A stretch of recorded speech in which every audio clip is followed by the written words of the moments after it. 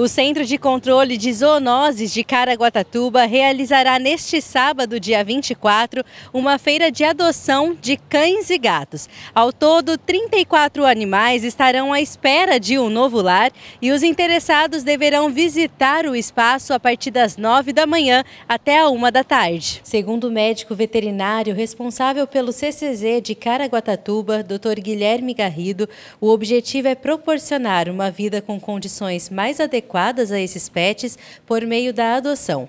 Boa parte deles foram resgatados em situações de maus tratos, abandono, falta de higiene, alimentação, entre outros motivos.